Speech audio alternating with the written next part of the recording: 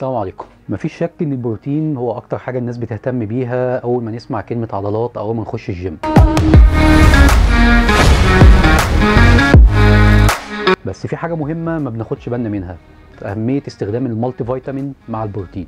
ال multivitamin هو الأساس عشان جسمك يمتص البروتين بشكل أفضل. ال multivitamin هو شامل ال vitamins كلها from A to Z كل فيتامين من دول مسؤول عن وظيفة حيوية معينة في الجسم مسؤول عن امتصاص الغذاء بصفة عامة التمثيل الغذائي تكسير البروتينات والأحماض الأمينية تحسين الأداء بتاع العضلات واستفادتها بشكل أفضل من العناصر الغذائية اللي أنت بتدخلها. آه، ده شيء مهم جدا لازم نركز عليه وما نهملوش.